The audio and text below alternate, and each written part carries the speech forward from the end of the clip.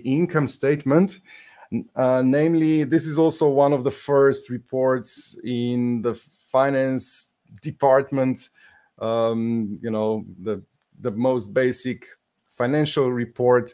Uh, and uh, typically you will have some some data like this um, you know, some account groups some some accounts um, you know some some some revenue and and types of income types of expenses okay? And typically uh, these are um, these accounts are then grouped uh, into into groups. And of course you you may have many levels here uh, so you just need multiple columns for that.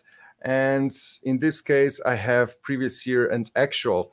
And now I have just simply inserted I have used this data and have simply inserted a pivot table from from this data okay and this is now in this this is now this pivot table simply inserted from from from that source data okay and now from this pivot table I have created a fully visual and interactive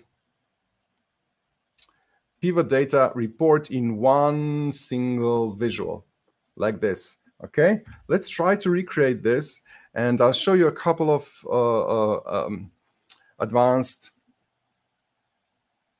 features that you will have to use in, in your financial reports. Um, so let's start with a, a Zebra BI table. Okay, so now I have my previous year and my actuals, and the visual has already calculated all the variances. So I have my uh, delta previous year, and I also have the um, previous year growth in, in percent. So this already works. You know, I can sort and so on, but you actually don't want to sort here. So I'll click three times to make sure that I don't have any any sorting by any column here, because what you what you need now or what you want is to have something like this. Uh, let's add, let's change this to a waterfall chart. And you need this one, the calculation waterfall chart. Okay. Now, this is now already looks promising. So I have certain types of revenue. Okay. Uh, so my licenses, consulting revenue, and so on, other revenue, this is my total revenue.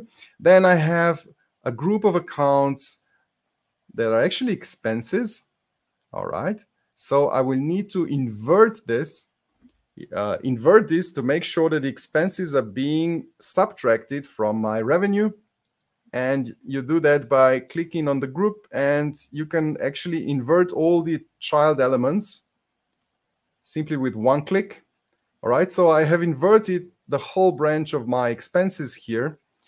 And then I have the operating profit, which is now a result. This is my, my, my resulting column.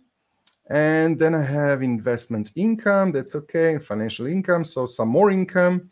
And this will result in my profit before tax.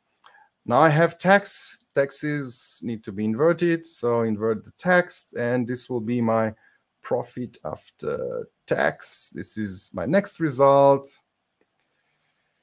Um, and invert this, and this is my final net net result. Okay, and this is my P&L. So you simply um, visualize it, uh, invert certain costs, make sure that make sure to mark the results and you have your P&L.